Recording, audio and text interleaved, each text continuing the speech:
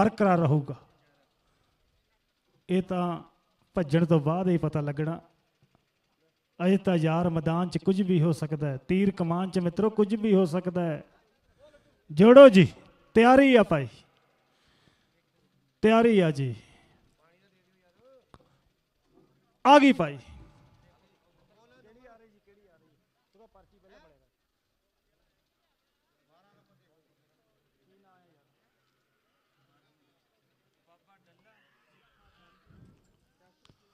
ਆਪਾ ਲਓ ਭਾਈ।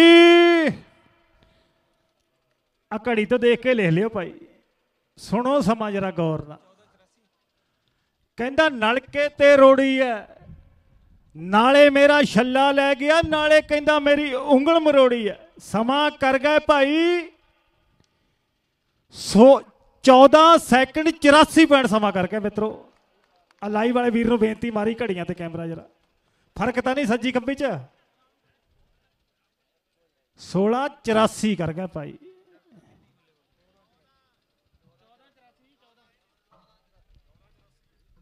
ਬਾਬਾ ਡੱਲਾ। ਆ ਗਈ ਭਾਈ।